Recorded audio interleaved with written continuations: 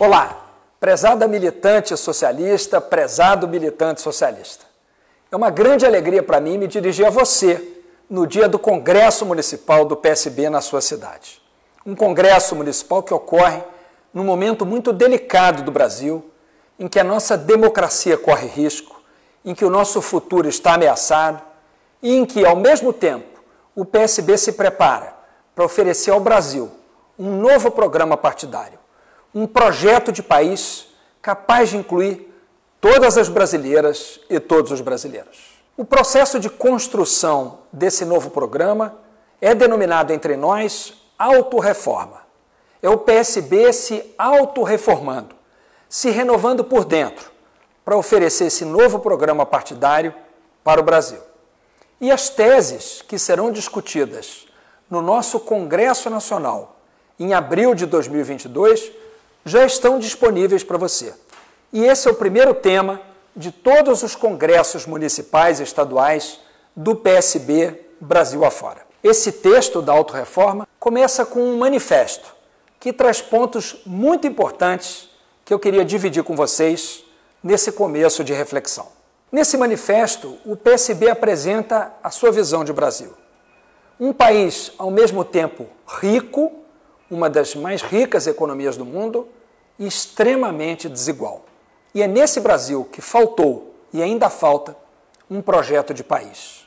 Um projeto capaz de inverter as prioridades e colocar em primeiro lugar o povo brasileiro, o povo trabalhador, as classes médias, grupos sociais que carregam o país nas costas, em vez de continuar colocando em primeiro lugar aqueles que apenas vivem do trabalho desses milhões de brasileiros. Nesse contexto, o nosso desafio é defender a Constituição de 1988, que está sob ataque, e, ao mesmo tempo, apresentar os caminhos para fazer as reformas estruturais que até hoje não foram feitas, mesmo durante os governos progressistas. A reforma política, a reforma agrária, a reforma tributária, a reforma do Estado, são tantas reformas de que o país ainda precisa e é preciso fazê-las de forma a beneficiar, em primeiro lugar, o povo brasileiro. Nesse contexto, o objetivo central do nosso partido é apresentar ao país um modelo de desenvolvimento que, ao mesmo tempo, gere prosperidade para todos os brasileiros, reduza as desigualdades e garanta a sustentabilidade.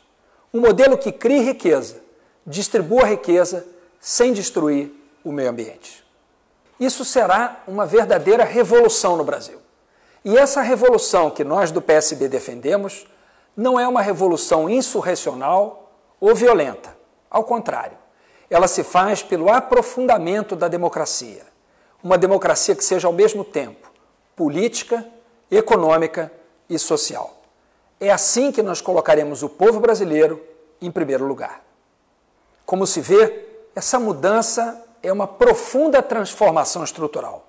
E para torná-la viável, é que nós do PSB queremos oferecer ao país um programa democrático, revolucionário e igualitário, que mobilize as nossas potencialidades, que unifique as nossas vocações, que mexa com a nossa criatividade, para fazer do Brasil finalmente um país verdadeiramente soberano, moderno, democrático, livre e solidário. É para isso que vamos construir esse novo programa do PSB. Isso se faz através de cinco eixos temáticos que estão nesse livro disponível para todas e todos vocês. E os eixos temáticos são os seguintes: o primeiro eixo é o da reforma do Estado, e nele nós vamos discutir as funções do Estado, a importância do planejamento como ferramenta para a construção de um outro Estado e de um outro Brasil. O federalismo brasileiro, a importância da transparência nos nossos governos e a centralidade da participação através da gestão compartilhada, o papel dos poderes legislativo e judiciário, a política externa brasileira e os temas da geopolítica e da defesa nacional, entre outros. O segundo eixo temático é o da economia a necessidade de se criar um modelo macroeconômico que conjugue a criação de prosperidade, a redução das desigualdades e a garantia da sustentabilidade. Nele, nós vamos discutir também a importância da ciência, tecnologia e inovação no crescimento econômico do Brasil, a precedência da política sobre a economia e a necessidade de se colocar a economia a serviço da vida. Além disso, vamos discutir um modelo de desenvolvimento para a Amazônia, chamado de Amazônia 4.0. Vamos falar do futuro do trabalho e da necessidade de se reduzir as desigualdades regionais, entre vários outros temas. O terceiro eixo temático é o do desenvolvimento sustentável e da economia verde. No fundo, é o eixo do futuro da economia, já que, para o futuro da humanidade, é fundamental preservar o planeta e o meio ambiente.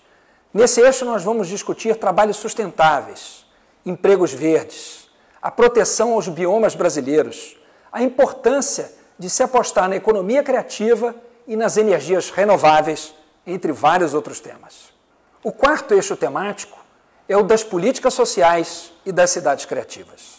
Nesse eixo, nós vamos debater a importância da Seguridade Social, que compreende o Sistema Único de Saúde, o nosso SUS, assim como a assistência social e a previdência social.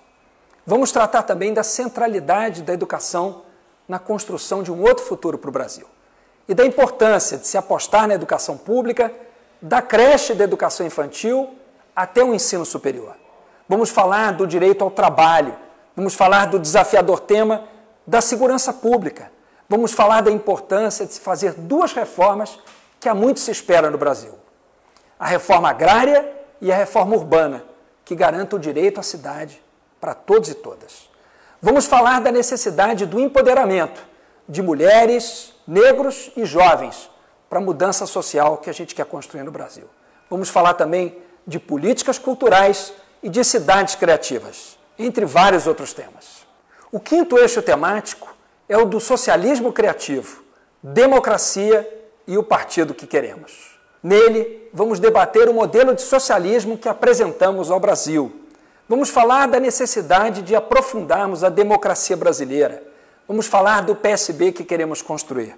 Um partido laico e acolhedor às mais diversas crenças e religiosidades. Um partido aberto à colaboração com ideias, sugestões e lutas dos movimentos sociais. Vamos falar da importância de se criar um modelo que garanta igualdade, liberdade e felicidade para todo o povo brasileiro. Ao longo desses cinco eixos temáticos que estão aqui na proposta de programa para o PSB, há 442 teses numeradas, que podem ser modificadas, diminuídas ou acrescidas de outras, dependendo das emendas e sugestões que nós todos e todas fizermos. Participe com as suas sugestões, vamos debater o novo programa do PSB. A sua participação é fundamental para nós oferecermos ao Brasil o melhor programa partidário que pudermos porque o Brasil merece e tem pressa. Vamos juntos à luta pela nossa democracia, por um Brasil melhor para todos e todas. Um excelente congresso para você.